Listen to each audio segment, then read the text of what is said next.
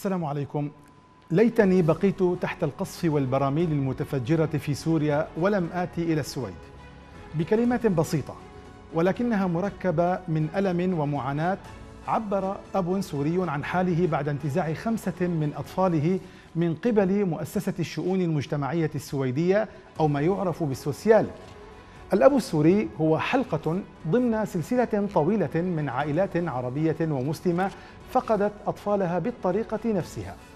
ظاهرة سحب الأطفال من ذويهم ضمن قانون خاص سويدي يتيح لمؤسسة الشؤون المجتمعية هذه الممارسة في حال تأكدت المؤسسة من تعرض الطفل لأذى نفسي أو جسدي أو وجود حالة إدمان على المخدرات في البيت.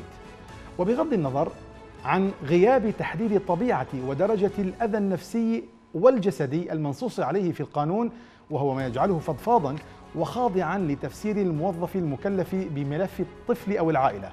بغض النظر عن ذلك وبالرغم من أن عددا من العائلات السويدية الأصل واجهت مصيرا مشابها فإن جل من فقدوا أولادهم هم من المهاجرين العرب والمسلمين.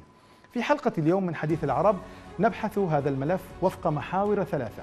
السياق العام الذي ينفذ فيه القانون المتعلق بحماية الأطفال وآليات تفسير نصوصه والآثار المترتبة على استمرار هذه الظاهرة ومن ثم الحلول الممكنة لحل هذه القضية ومدى فعالية الحملات الشعبية في هذا الشأن. أهلا بكم. قصص مأساوية ترويها بعض عائلات المهاجرين في السويد لا سيما العرب منهم والمسلمون. إدارة الخدمات الاجتماعية تنتزع الأطفال من أحضان أمهاتهم بزعم تعرضهم للتعنيف اللفظي أو العنف العائلي. مزاعم تنفيها العائلات في كثير من الأحيان إلا أن إدارة السوسيال السويدية لا تلتفت لذلك. مستندة إلى قانون صدر سنة 1990 يمنح الإدارة صلاحية انتزاع الأطفال بالقوة من منازلهم أو من المدارس دون علم أهلهم بل ودون إذن قضائي. وتتجاهل السلطات السويدية الآثار السلبية المترتبة على ذلك إذ قد يتعرض الأطفال المنتزعون من أسرهم لمشكلات نفسية واجتماعية من جراء فقدانهم للأمان والاستقرار الأسري. ناهيك عن مخاطر تنشئة الأطفال في بيئة ثقافية ودينية مختلفة عن بيئة عائلاتهم الأصلية. كما قد تتدهور صحتهم العقلية والعاطفية لا سيما أن هناك شهادات من أطفال عادوا من السوسيال بعد وصولهم سن البلوغ تفيد بتعرضهم للتعنيف والضرب من جانب الأسر البديلة التي أودعتهم السلطات لديها. ما يكذب مزاعم سعي السلطات لحمايتهم. العنصرية والفساد عاملان آخران يتحكمان إلى حد بعيد في إجراءات السلطات السويدية فيما يخص أطفال اللاجئين العرب والمسلمين.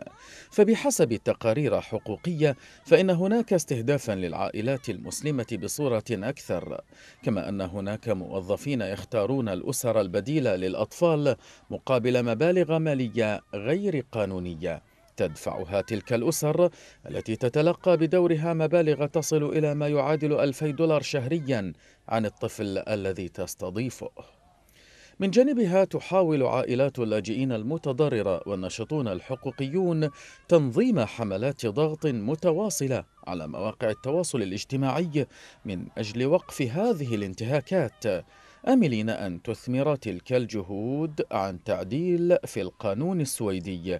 يقر باختلاف الثقافات ويحترم قيمة العائلة وأهميتها لدى اللاجئين من العرب والمسلمين. للحديث عن موضوع الحلقة ينضم إلينا في الاستوديو الدكتور حسام سعد أستاذ علم الاجتماع وعبر زوم من العاصمة المصرية القاهرة الأستاذة زينب لطيف الناشطة الحقوقية السويدية وعضو في منظمة أطفالنا العضو في منظمة أطفالنا. أهلا بكم ضيفينا الكريمين. نبدأ في القاهرة. أنت تقيمين في القاهرة أستاذة زينب لكنك ناشطة حقوقية سويدية ولك باع في هذا الموضوع. أسألك بصفتك ناشطة حقوقية هل ما يحصل من انتزاع أو سحب أو كما يحلو لبعض العرب تسميته خطف الأولاد من من ذويهم في السويد هل يتم وفق سياق قانوني صرف أم ثمة تجاوزات في هذا السياق؟ آه، أهلا فيك آه، أكيد أنا بشد على إنه في اختراقات بالقانون والقانون هيدا يعني لما يطبق آه، لما بدنا نيجي نحكي بكل القوانين حتى الموجودة بالسويد أو القوانين اللي ماضيين عليها كلياتنا كحقوق إنسان الدولية بأوروبا وحق الطفل فهو آخر مرحلة هي سحب الطفل انتزاعه من أهله مثل ما بنقول. فلازم تكون مطبق هيدي القوانين تقدر تفوت تسحب الطفل وهي هي فعلا آخر مرحلة. لو حتى مثل ما عم بيصير في ادعاءات إنه في عنف أو في ضرب أو في آه، تهديد أو في هال الأسباب اللي عم يدعوها فلازم يصير في تأهيل في دورات للأهالي وبنحاول نحن نصلح العائلة ونعلم هالأهالي كيف لا لكن تحدثتي تحدثتي عن وجود اختراق وقلت إنك تشددين على ذلك. هل لا لنا مظاهر آه، وصور هذا الاختراق للقانون؟ طبعا هو آه، في في كثير آه، يعني كثير روابط عم تخترق بالقانون. أول قبل ما تطبق صح اللي بنسميه إنه وضع ال في اي على الطفل يعني السحب القسري هيدا ففي قبل بمرحلة في شيء اسمه سول. يعني هيدا هون لازم يطبق. بتجيب الأهل بتقول لهم في نحن عندنا قلق إنه الطفل عم بيتعرض لعنف أو عم تعرض لعنف نفسي ولا شو شو الأسباب اللي هي موجودة؟ ونحن حابين نحقق بهالموضوع بفترة هيدا التحقيق. نحن غير شاعرين إنه الأطفال بأمان. إيه، هل فينا نوضعهم عند أحد من العائلة أو من الأصدقاء أو من الجيران؟ هيدا أول خطوة. بس للأسف هون بحب شد على نقطة كثير مهمة. خطوة السول لا تطبق بالذات مع المهاجرين وبالذات بدي شد مع العوائل المسلمة الأفكار المسبقة اللي موجودة يعني من اتجاه هدول الموظفين لا يتخذوا هيدي الخطوة قبل السحب ياخذوا خطوة السحب بشكل فوري. يعني هون عم بيصير في ظلم يعني لماذا كتير. لماذا تفترضين بأن القانون هذا الذي يطبق على كل السويديين ينبغي أن يكون هناك نوع من المراعاة لمن هاجروا من بلاد عربية آه، أو مسلمة؟ وقد عرفت سابقا أن السويد تطبق القانون جملة وتفصيلا على الجميع دون ما تمييز. بالأس... للأسف هون يعني القانون لا عم يطبق ب... على الكل بنفس الطريقة لا لأنه نحن كلياتنا يعني اللي فايتين كناشطين حتى محاميين سويديين عم بيطلعوا عم بيقروا بأنه التحقيقات من عبر السوسيال غير آمنة حتى ما عم بيكون في أي إثباتات لما عم بيدعوا على العوائل المسلمة إنه هن عندهم أفكار شرف وضغوطات شرف فقط بس لأنه الأم محجبة أو هن من عائله مسلمة ما فيك أنت تيجي تكب اتهامات والعوائل عم تعمل مستحيل تتثبت إنه هن منهم هيدا الشيء. رغم كل هيدا الشيء عم بضل هيدا الشيء موجود طيب دعيني دعيني دعيني احاورك عفوا أستاذة زينب قبل أن أعود إلى الاستوديو. يعني أنت تقولين بأن هناك خروقات وبأن يعني خضوع تحت قانون العرف المجتمعي وهو قانون الشرف يعني بين العائلات العربية والمسلمة. بما تفسرين حصول مثل هذه الحالات في بعض العائلات العربية والمسلمة وعدم حصولها في عائلات كثيرة هناك مليون مسلم وعربي في السويد نسمع عن حالات محدودة نسبيا إذا ما قورنت بهذه الأعداد الغفيرة الموجودة في السويد. عفوا ما فهمت عليك إنه بتسمعوا بعدد يعني أقصد أقصد بأن بأن آه، آه، يعني هناك ضغط على العائلات العربية والمسلمة بسبب وجود الحجاب بسبب النمط الثقافي الذي ينشأ ويترعرع عليه الطفل العربي والمسلم. طيب بما تفسرين اذا أن هناك الآلاف من العائلات الأخرى التي لم يمسها هذا الأذى؟ اللي بفسره يعني الواحد بيقول لك إنه ما, هو أنت بدك توصل آه، بيجي بلاغ القلق. حسب من وين بيجي؟ ممكن يكون كيدي ممكن يكون سري ممكن يكون يجي من المدرسة من آه، حكيم الأسنان. أنا دائما بقول بشغلة إنه كل واحد آه، لو مين ما كان حتى هن الموظفين اللي حد ذاتهم بطبقوا هالتحقيقات لو هن خضعوا تحت ايدان تحقيق حنلاقي بنلاقي كثير حجج. لنسحب الأطفال لأنه ما في الأهالي المس... المثاليين اللي عم نحكي عليهم وهيدي طلعت محامية سويدية موجودة بالسويد وحكيتها بإحدى المحاكم ونزلت كمقال بالجرايد السويدية إنه حتى نحن مش الاهالي المثليين المثاليين البيرفكت اللي آه، بنعرف كل شيء نحن بنعمل اللي بنشوفه أحسن شيء للطفل مثل ما هن بس بيمشوا إنه هن كمان بقيموا على هو نعم. أحسن نعم. شيء للطفل بس هون عم بصير في اختراقات كمان في عندك الاختراق رابطة 8 بالحقوق الإنسان إنه كل عائلة وطفل لهم حق باحترام العائله تبعولهم طيب. آه، فهيدا كمان يخترق. ربما هذا يحتاج إلى شيء من التفصيل. سأعود إليك بعد قليل ولكن هنا في الاستوديو آه، دكتور حسام هذا هذا السلوك الذي تمارسه آه، مؤسسة الشؤون المجتمعية في السويد لا هو أبرز حقل يمكن أن يفسر من خلاله هو حقل الاجتماع الإنساني. وأنت متخصص في هذا السياق. في سياق الاجتماع الإنساني كيف يمكن تفسير هذه الظاهرة؟ انتزاع أطفال جاءوا من بيئة وثقافة مختلفة انتزاعهم من ذويهم وحرمانهم منهم ربما تكون إلى الأبد أحيانا. صحيح. الحقيقة أنا لن أدخل في قضايا آه، تحدثت عن الأستاذة آه، زينب. آه، رح نقول الموضوع لمستوى آخر. السويد أساسا على حسب معرفتي نعم. القانون وجد أو أو تم تفعيله بأوائل الثمانينات من القرن العشرين. سن في السبعينيات وفعل في 82 بالضبط. وكان يستهدف أساسا الأسر السويدية بسبب وجود التلف الزائد. أعتقد كان هناك سلوكيات يعني إلى حد ما غير مقبولة. الأهالي تعاطي المخدرات بعض التجاوزات الجنسية وإلى آخر ما ما هنالك. هذه قيم مجتمع سويدي. لكن عندما تسبغ على آه، آه، قيم آه، معنى العائلة عند العائلات المهاجرة سواء كانت عربية أو إفريقية أو مسلمة أو حتى من ديانات أرضية هذا الأمر أعتقد رح يعمل conflict بين بين ال social والأهالي. النقطة الرئيسية هو صراع تقصد يعني طبعا صراع conflict صراع. النقطة الرئيسية التي أنا يعني أشدد عليها هي أوروبا في في مرحلة الحداثة حقيقة. قد يكون الأمر أكثر يعني حديث أوسع لكن هو النسق العام. آه، وجود الدولة ككيان متجسد هو قادر أساسا على رعاية جميع الأبناء. هذا كان هدفه بالبداية وتحديدا بالثلاثينات يعني بالقرن الماضي هدفه إلغاء دور الأسرة واعتماد الأفراد جميعا على الدولة ك يعني كسلطة مقدسة وأساسية. وصية. آه تماما. وهذا حتى حتى نجده في تنظيرات هيجل ونيتشه والآخرين. فلاسفة الألمان. آه تماما. وللمناسبة مثلا غياب العائلة آه، آه، وارتباطها بالدولة. وأعتقد أنا أنا سمعت من من من من فترة آه، قيل لأحد المهاجرين إنه السويد هي أبوك وأمك. لا يوجد لك يعني من من من يسندك بالنهاية هو السويد. من يعطيك الوظائف وال وال والرعاية السويد. الأب والأم مجرد آه، يعني أشخاص. آه، كما لو أني أفهم من كلامك دكتور حسام كما لو أنك تتحدث عن طغيان دور الدولة طغيان دور الدولة. وقدسيتها وهي إحدى مشاكل أساسا هي إحدى مشاكل السياسة والفلسفة الأوروبية بمرحلة من المراحل.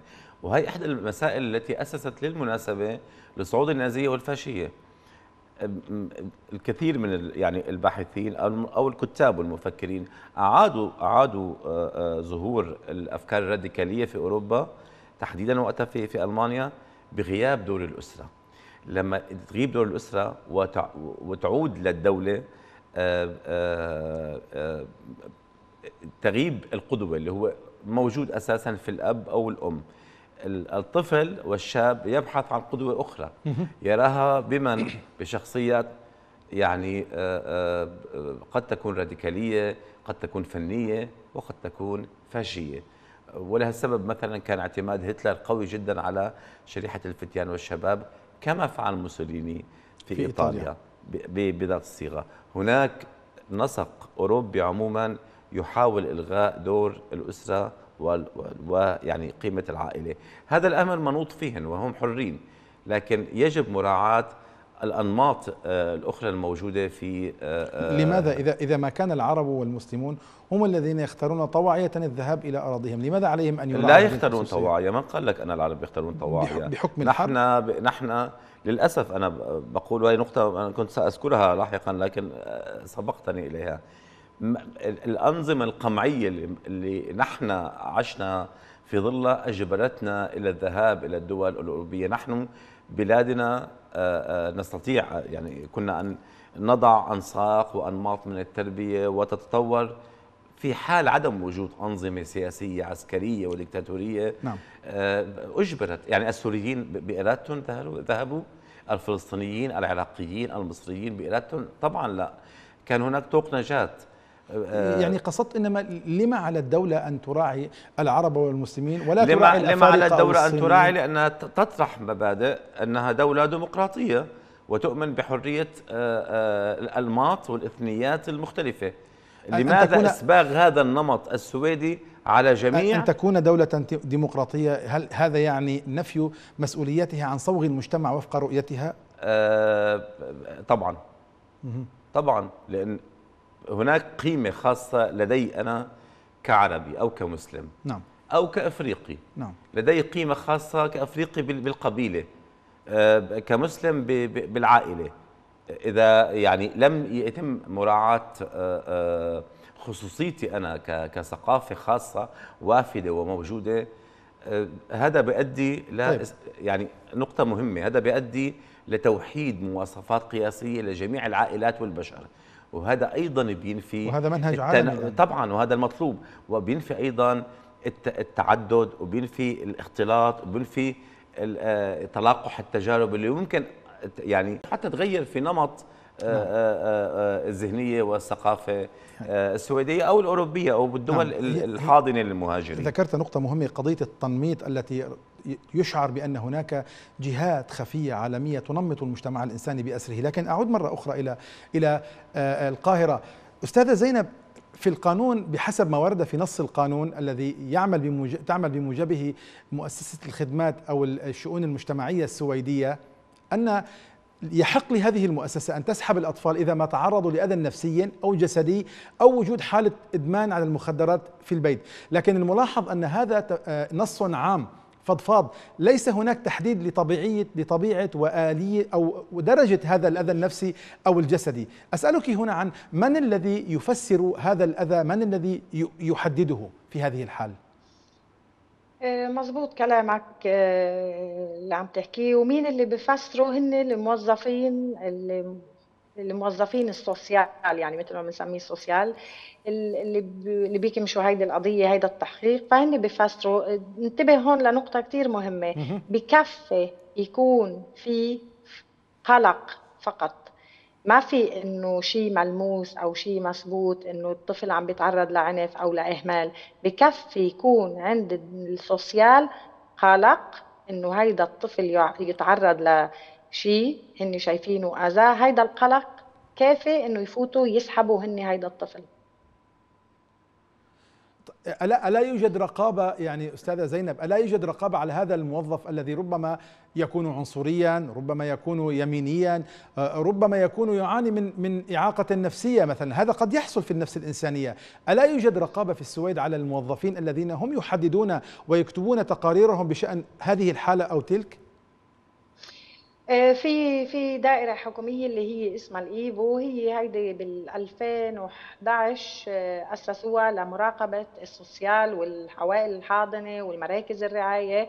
طبعا ال IVO ما عنده صلاحيات يلغي قرار social أو محكمة بس فيه يفوت يلاقي الأخطاء ويعقب فقط يعني إنه يعطي تعقيب إنه هون أنتم أخطأتوا أو كذا بس ما فيه ما عنده هالصلاحيات اللي بيقدر يغير. أي شيء. يعني بدنا ننتبه ومين اللي موظف بهيدي الدائرة اللي هي آه، على ال social؟ فهن دائما لازم يكون عندك أقل شيء خمس سنين خبرة كموظف سوسيال. يعني بتكون أنت قاعد بالسوسيال بدك يكون عندك خمس سنين خبرة بعدين بتصير محقق بهيدي الدائرة. يعني أنت آه، بدك تصير رقيب على زملائك آه، واللي الشغل اللي أنت بحالك عم بتنفذه. يعني هيدا حتى يعني مش عادل.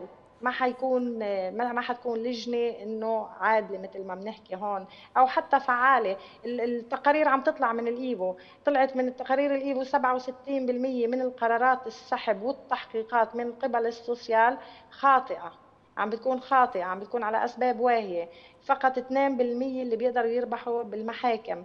يعني الإيفو عم بضلوا يطلع تعقيبات وتقارير وهيدا بس مش قادرين يفعلوا شيء. يعني نعم. ما بيقدروا يغيروا بأي شيء. طيب دكتور حسام بغض النظر عن القانون ذاته وقد ناقشنا تفاصيله مع الأستاذة زينب لكن عندما يعني يسحب الطفل من أهله قسرا ودون إخطار أهله كما في بعض بنود هذا القانون أي فائدة مجتمعية يمكن أن تجنيها الدولة من هذا السلوك الذي يسبب التوتر وربما التصادم كما ذكرت في مستهل الحلقة مع الأسر؟ يعني ما الفكرة التي تريد الدولة تحقيقها؟ لا هي لا تريد فائدة. هي تريد تكريس الدولة ككيان متعالي آه، يتم الانتماء من جميع الأفراد إليه، أنا أزيد على على كلام الأستاذة زينب. طبعا وأنا متابع يعني للكثير من البرامج الخاصة التي ظهرت بها. هناك أيضا وأعتقد لا أعرف إذا توافقني في الموضوع هناك نوع أصبح نوع من البزنس أيضا. آه، كلما آه، كلما آه، منظمة استطاعت أن تجذب مثلا في السنين الماضية أعتقد كان 27 ألف طفل ونيف يعني تستطيع أن تأتي بتمويل أكبر. عام 2020 27300 تماما. نعم.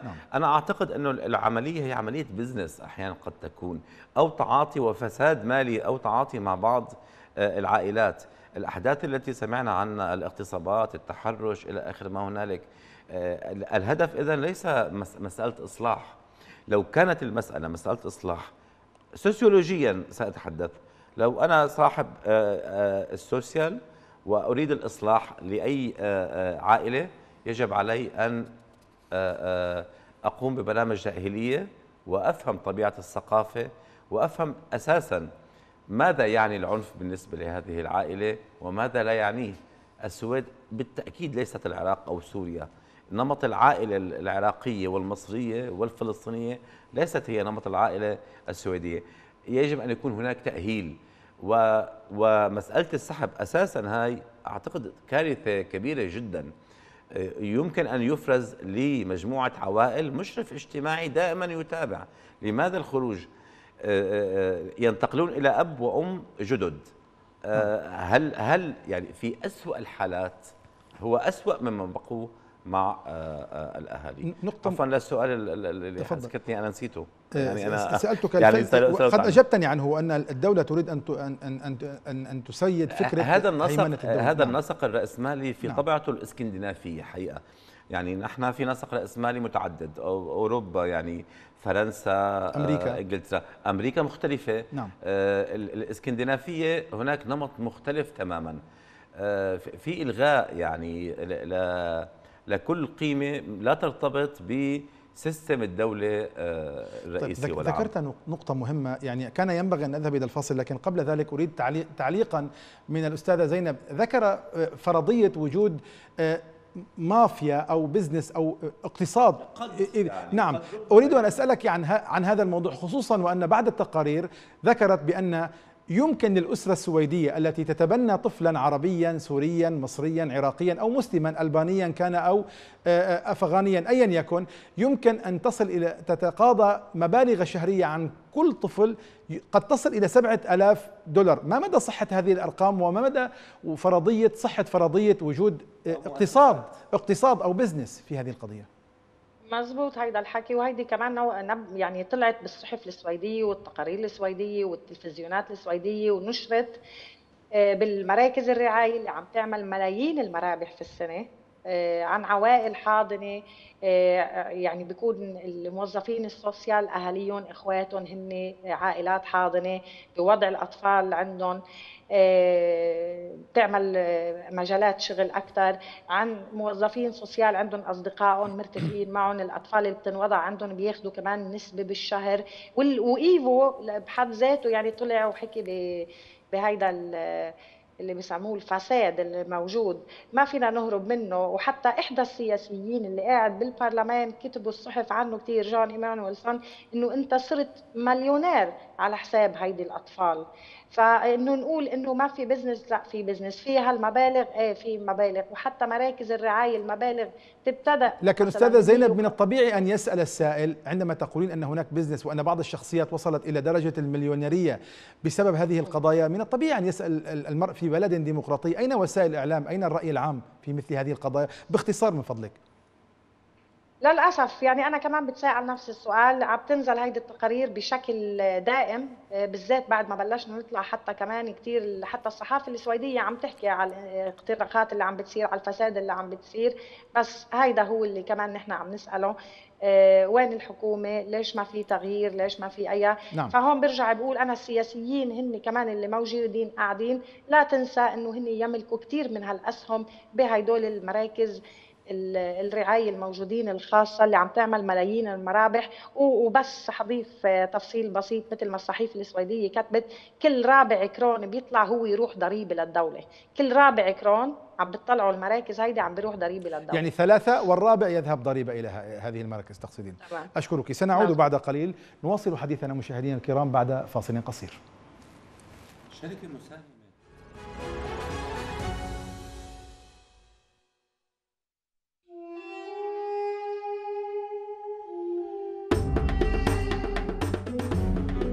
هنا بوتقة الحضارة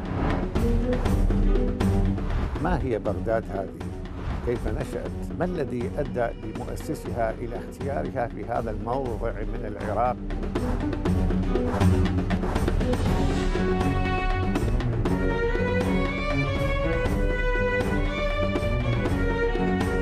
تعاقبت على العراق حضارات جمة الآن أصبحت سبعة آلاف سنة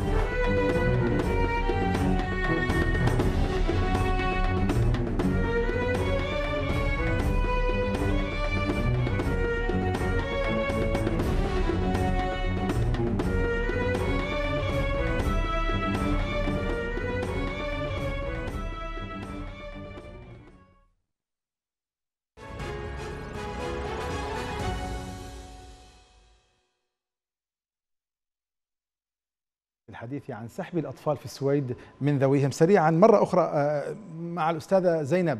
هذه هذه الظاهرة كيف تؤثر على تعايش العرب والمسلمين مع المجتمع السويدي أولا وعلى آه، نمط الهجرة من بلاد العرب والمسلمين إلى السويد؟ طبعا هيدي عم بتأثر بتأثر كثير يعني أنت اليوم لما بتكون مهدد إنه بسحب أطفالك لسبب إنه عم بتحاول تربي على مثلا عاداتك دينك يعني الإشياء اللي نحن كل واحد مثلا بده. وهيدا بحب أقول إنه قانون حق الطفل يقول إنه كل طفل له حق الاحتفاظ بعاداته ولغته ودينه وبهويته يعني. فلما أكيد هيدا عم بيأثر كثير كثير عوائل هاجرت تركت آه، السويد. آه، حتى آه، يعني كان من هدول العوائل وحتى عوائل السويدية كمان قدموا لجوء ببلاد ثانية وطبعا الواحد عم بيشوفه عم بيقرأ إنه حتى المهاجرين يعني ما عم بتفضل إنه هل يمكن أستاذة زينب هل يمكن الحديث عن هجرة عكسية من السويد إلى إلى خارجها؟ أكيد في كثير كثير في هجرة كثير عكسية من السويد. آه، آه، فلهالسبب كمان هلأ الحكومة السويدية عم بتدق باب باب وعم تعمل جرد وعم بتقول لك لأنه نحن آه، لحد بداية السنة من هيديك السنة يعني عم بيقولوا لك في في عندنا بين ال 50 و 100 ألف الأرقام ما عم بيلاقوها مزبوطة مين هاجر ومين ترك ومين ما بدل عنوانه. فطبعا هجرة عكسية. بحكي وبشوفها أنا حتزيد كمان طبقوا قانون الشرف من بال 2022 ب 1 7 وقانون الشرف كان عليه كثير تعقبات من المحاميين ولجنه المحاميين ورفضوه للحكومة. قالوا له قانون الشرف هون نحن بنرفضه لسبب إنه حتقاضي بس فئة معينة من دين معين. طبعا وهو معروف مين هالفئه ومين هالدين المعين فهو هيدا حيكون ما فينا نحن يعني حتى المحاكم طلعت قالت نحن ما رح نقدر نحكم بهيدا القانون السويدي الأصل مثل ما حنحكم فئة معينة. وقانون الشرف يطبق يعني على الأطفال اللي من 12 سنة وفوق. ممنوع الأهل آه، آه، تختار له أصدقاء أو تقول له لأ أو آه، تمنعه على وسائل تشات أو تمنعه من من الطلعة فهالأسباب هيدي ممكن تاخذ حبس الأم والأهل والأقارب من سنة لحد الأربع سنين. آه، فكان قانون الشرف كمان آه، كتير قاسي هنيك على المهاجرين وبالذات المسلمين. بحب أقول قانون الشرف كتير قاسي آه، علينا نحن. طيب دكتور حسام الآن العائلات العربية والمسلمة في السويد بين نارين حقيقة. إما توجيه أولادهم أو أطفالهم وفق مقتضى ثقافتهم وموروثاتهم آه، للحفاظ على أخلاقهم وسجاياهم وتصوراتهم للحياة وهذا يعرضهم لسحب أطفالهم أو النار الثانية أن يتركوهم كما هم وهذا يعني يؤدي بهم إلى التغريب والانفصال عن الهوية وعن الذات المجتمعية. أي تأثير نفسي ومجتمعي لهذه الثنائية على العرب والمسلمين المقيمين في السويد؟ برأيك؟ يعني بداية كان الله في عونهم يعني آه، اولا لأن ال- أنماط التربية عموما وكل منظمين التربية توصلوا إلى نقطة رئيسية وجوهرية أنه لا يوجد نمط مثالي ودقيق وصحيح للتربية ال- إذا توصلنا إلى نمط مثالي ومعياري أعتقد البشرية انتهت يعني آه هذا ما تفعله السويد. أنا أعتقد إنه السويد اللي عم تعمله حاليا هو توح- توحيد معيار أساسي لازم الكل يدخل ضمن إطاره. آه الأمر أعتقد أبعد من هيك. على أثار نفسية طبعا. نحن الأطفال اللي عم عم يتخذوا من أهاليهم وعم يروحوا على عائلات ثانية في انفصال أساسا؟ يعني كما لو أنه عفوا دكتور حسام كما لو أنه يعني الحكومة السويدية تريد أن تعالج الآثار النفسية للطفل لواحد من الأطفال ثم بعد ذلك يترتب على ذلك وجود حالة نفسية لعائلة بأكملها تحتاج إلى علاج ربما. طبعا طبعا طبعا حتى يعني حتى في تقارير أعتقد ما بعرف تصحح الأستاذة زينب في تقارير إنه في معظم يعني نسبة 70 أو 80% من الأطفال الذين أخذوا حتى سويديين سابقا بال 2012 وكذا معظمهم يعني سجنوا أو قتلوا أو دخلوا في المخدرات أو انحرفوا يعني أو بالضبط لأنه يعني العائلة البديلة لا, لا تقدم رقابة أو لا تقدم على الأقل الاهتمام المطلوب مثل العائلة الأساسية. أنا ما أخشى يعني ولست أخشى يعني ولكن ما اتوقعه هذا الصراع المستمر سيخلق حركات يعني أعتقد راديكالية من قبل المهاجرين وهذا سيدخل السويد أو أي دولة أخرى في آه، موضوع صراعات ترد دائما لقضايا دينية. مثلا مثلا آه، إحدى الاعتراضات التي كانت على موضوع آه، وجود الاعتصامات بأنه هذه الاعتراضات مثلا مد- مدعومة من تنظيمات إسلامية ومن داعش. التهمة جاهزة. يعني ال- ال- التنميط والتهمة جاهزة الإسلاموفوبيا آه، المسلمين آه، في هناك تخوف من حركات آه، أو تفجيرات أو لا آخره بس قد تكون قد تحصل. النقطة التي تتحدث عنها وهي يعني المستقبل الذي ينتظر هؤلاء ربما أتحدث معك عنه بعد قليل لكن لو أذنت لي حتى لا نقفز على هذه القضية أذهب مرة أخرى إلى إلى زينب لأسألها هذه الظاهرة كي ظاهرة سحب الأولاد بشكل كبير يعني معدل سنوي 25 ألف 25 ألف حالة سنويا تقريبا بحسب إحصاءات السوسيال طبعا. كيف تنعكس على النقاشات السياسية داخل النخبة السياسية في في في السويد أولا؟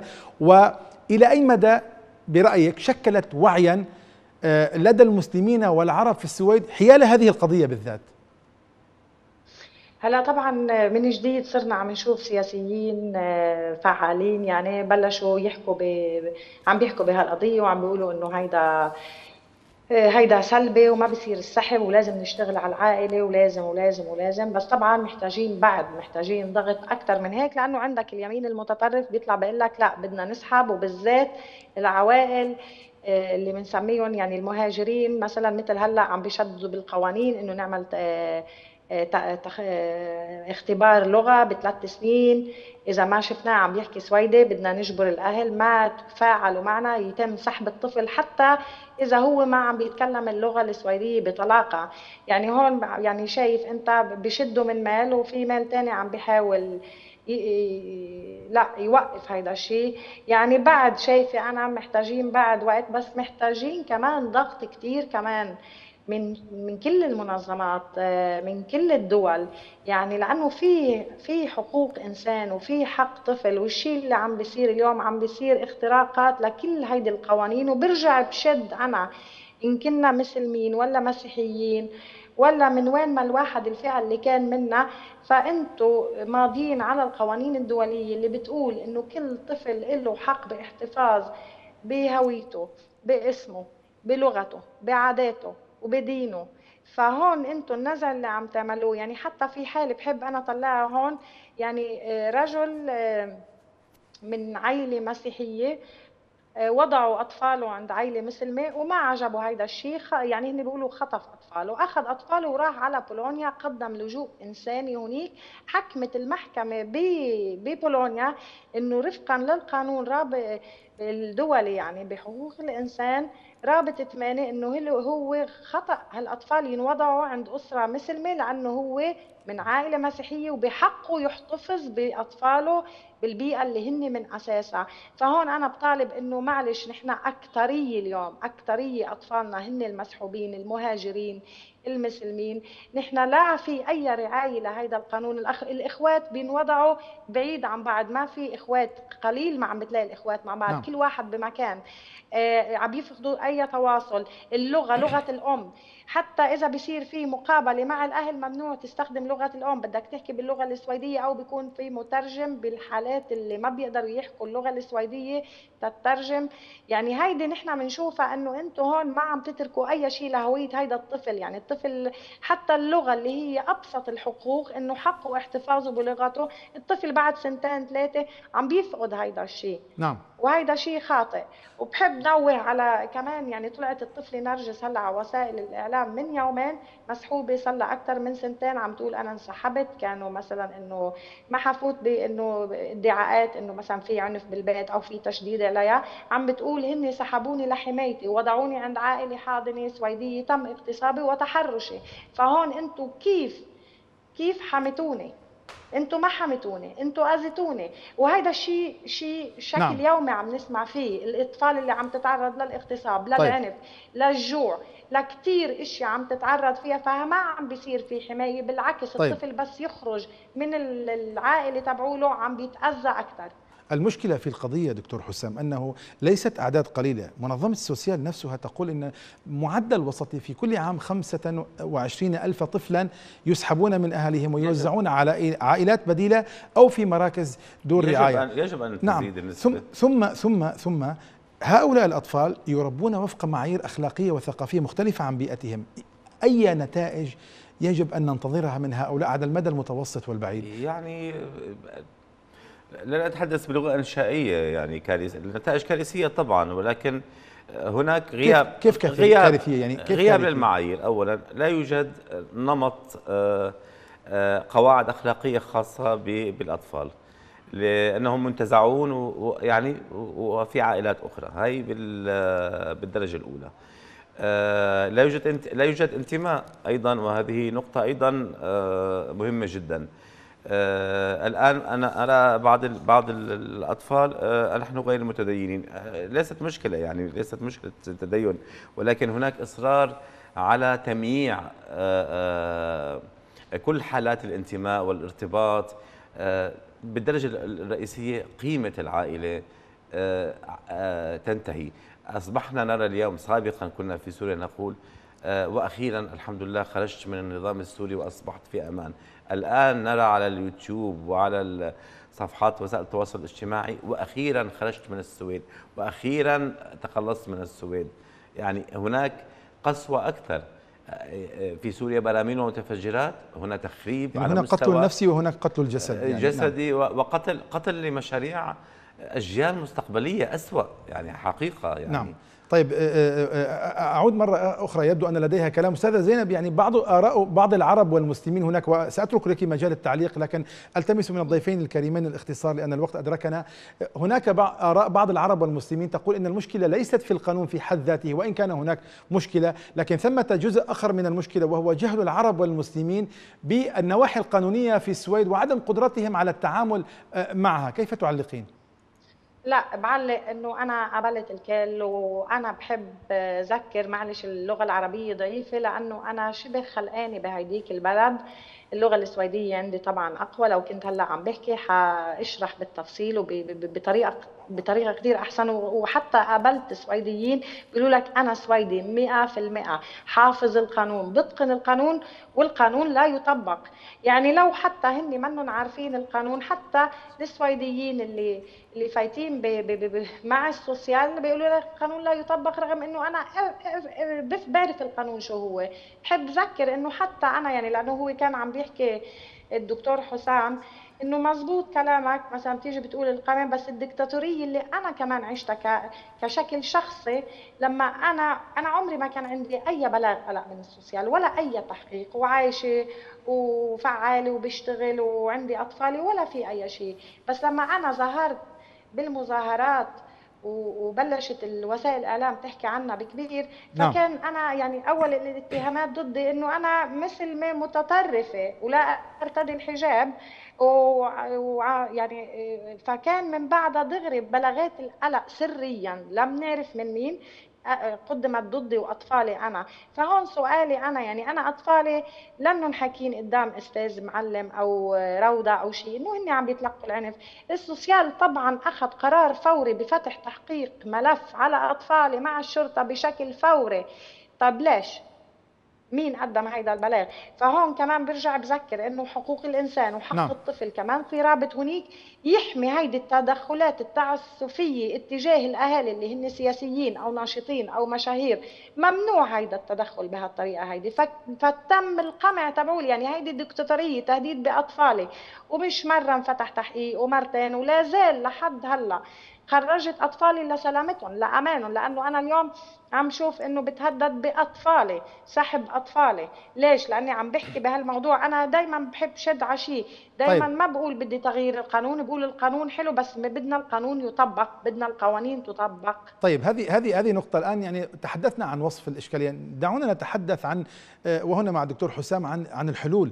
برأيك إذا ما ابتدأنا بالاطار أو الدائرة الكبرى هل يمكن أن الدول العربية والمسلمة بصيغة ما أن تؤدي دورا في الضغط على الحكومة السويدية لإعادة النظر في في هذه القضية؟ لا أعتقد لماذا؟ لأنه أعتقد آخر هم أهم الدول العربية والإسلامية لو كانت مهتمة أساسا ما كانت دول لافظة لأبنائها اذا اذا و, و يعني لمواطنيها يعني الدول التي تحرم وتقمع آه، الحريات وتقمع سبل العيش كيف ستدافع عنك وأنت مهاجر هارب من حكومة إذا ثمة مستويات أخرى ترشح يعني ربما أنا أنا أعول لحد كبير على استمرار الاعتصامات آه، أنوه على مطالبة حقوقيين ومختصين آه، نفسيين واجتماعيين بتوضيح ضرورة وجود فوارق يعني بالمجتمع وأيضا يعني مثل الأستاذة زينب والآخرين من الناشطين برفع تقارير ل يعني آه، آه، منظمة حقوق الإنسان المختصة أو اليونيسيف آه، حتى يتم الضغط على السويد بهذا الإطار.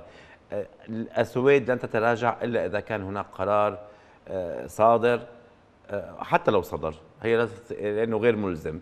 لكن أعتقد يعني أنا أخشى وأعتقد أن هناك أن السويد تربي داخل آه، بلدها جيتوات وقنابل موقوتة في المستقبل ستقضي عليه مراكز قوة تقصد. طيب. طبعا. لكن لكن من المهاجرين من ال... لكن حتى من السويديين يعني ال ال ال لأن العملية هي أنا بتصوري يعني نعم. كختام. العملية هي عملية شركات. ليس ختام سأعود إليك. آه ستعود إلي تمام. نعم. مع ذلك حتى حتى أرجع إليك لكن دعني أذهب مرة أخرى لو أذنت لي آه، دكتور. آه، سيدة زينب يعني من من الصور المشرقة في الموضوع أن هناك حراكا في السويد وامتد إلى خارج حدود السويد. هناك حملات شعبية وآخرها حملة آه، أوقفوا خطف أطفالنا. ما مدى فعالية هذه الحملات في لجم هذه الحدة؟ في التعامل مع أطفال العرب والمسلمين في السويد. طبعا أنا عم شوف بالعكس هيدي الحملات كثير منيحة آه، الإيجابيات اللي طلعت منها على وسائل الإعلام حتى الأطفال المسحوبين يعني اللي في غسيل دماغ كمان فاقوا عم بيشوفوا شو عم بيصير وعم بيقولوا لك لا آه، مزبوط لأنه في كثير مثلا من من وقت السحب كثير يعني دائما بشكل استمراري بتقول له للطفل لا أهلك غير قادرين أهلك ما قادرين يربوك أهلك ما بدهم إياك. فبالعكس شفنا أطفال صارت تطلع وتطالب بحقوقها وتطالب بالرجوع لاهاليها شفنا لكن كمان هناك هناك عفوا عفوا أستاذ زين هناك فريق من المراقبين يعني حتى العرب والمسلمين في السويد يقولون بأن كل هذه التظاهرات والحملات ليست ذات بال. لأن القانون لا يعالج إلا بالقانون فالتظاهرات لن تجدي نفعا. نعم أوصلنا رسالتنا لكن ماذا بعد ذلك؟ لا شيء. لما بنشوف بعض من بعض من الحالات مراكز السوسيال شايفين إنه الضوء مسلط عليهم وفي حالات كانت معنا ورجعوا أطفالهم لإسكاتهم فبنشوف حالنا إنه نجحنا. لما بنشوف إنه الجرايد السويدية والصحف السويدية صاروا بشكل دائم يكتبوا عن الاختراقات اللي عم بتصير والاغتصابات وانتحارات الأطفال بالإيفو والعوائل الحاضنة أنا بشوف إنه لا هيدا كان شيء كثير فعال وإيجابي ولا زال مستمرين وحنكمل تنوصل للتغيير غير ما يصير فعلا. هذا كلام جميل أستاذة زينب لكن قبل قليل ذكرتي بأن الإيفو الذي هو يعني مفروض مفترض أن يكون مؤسسة رقيبة على السوسيال ذكروا أن سبعة وس... تقارير أن 67% بحسب ما ذكرتي من الحالات فيها تجاوز على القانون.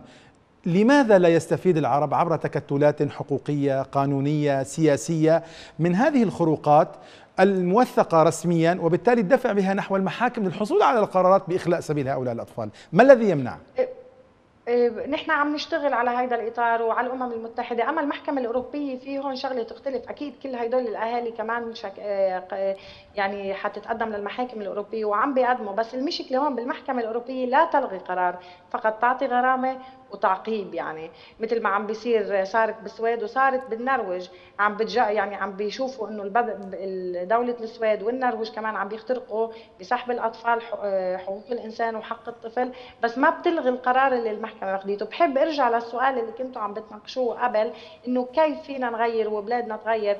في في الفيلم اللي نزل فهو قصة حقيقية الهند اللي انعمل اسمه ميس شاترية في إس نوروي. الاسره الهندية اللي سحب أطفالها في النرويج. هون بالعكس شفنا الهند كيف قدرت تأثر على النرويج وترجع أطفال هيدي المرأة. فدائما برجع بشد إنه لا ما بدنا نضيع الأمل. آه، بنداء من هون بلادنا قادرة تحط تشد هيدا الشيء وتطالب بالقوانين وتطالب بهذا الشيء لكن يقول لك يقول لك الدكتور عفوا أستاذة زينب يقول لك الدكتور والتمس منك يعني الإجابة بأقل من دقيقة. يقول لك الدكتور يعني أي أمل تعلقين على دول بحسب ما قال هي التي لفظت هؤلاء وتخلصت منهم؟ في دول لازال هلأ مثلا ما فيها حروبات ولا زال فعالة. فبرجع بشوف إنه لو هالدول مثلا صار من بعدها بس على القليله تقدر يعني أشكرك. نقول إنه لازم تدافع عن ال نعم وضحت الفكرة. أشكرك. يعني أدركنا الوقت بدقيقة دكتور معذرة. يعني أو دقيقة ونصف تقريبا. هل الحل ينبغي أن يكون من داخل السويد أم يمكن أن يأتي من الخارج؟ لا من الداخل حصرا فقط. من الخارج آه، أنا أنوه على موضوع الفيلم. أنا رأيته من حوالي فترة قصيرة. آه، آه، السينما مهمة.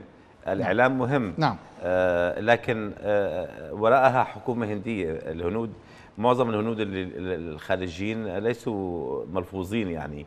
آه لديهم علاقات يعني مع الهند. نحن خرجنا وعملنا قطيعة مع بلادنا التي هي حتى لو حاولنا العودة إليها فلن تعيدنا. آه الحل يبقى في السويد آه، من الجاليات العربية المسلمة آه، من وجود جمعيات واستمرار الاعتصامات. آه، أنا أعتقد أن الأمر لن يحل. وهذا ربما أعتقد يؤسس يعني أنا أتوقع خلال مرحلة قريبة جدا وجود أعمال عنف كبيرة جدا في السويد بسبب هذا الموضوع. نعم، يعني آه، حقيقة أشكرك. شكرا جزيلا دكتور حسام، ختاما مشاهدينا الكرام أشكر ضيفي في الاستوديو الدكتور حسام سعد أستاذ علم الاجتماع. والشكر أيضا موصول للأستاذة زينب آه، لطيف الناشطة الحقوقية وعضو والعضو في منظمة آه، أطفالنا. الشكر الأكبر لحضراتكم على كرم المتابعة في حراسة الله.